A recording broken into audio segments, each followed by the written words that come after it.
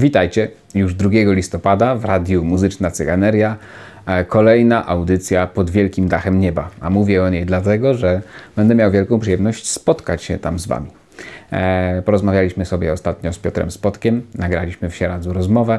Zagramy też kilka moich piosenek, więc jeśli ktoś ma ochotę i czas, to zapraszam najserdeczniej 2 listopada do Radia Muzyczna Cyganeria na audycję pod wielkim dachem nieba.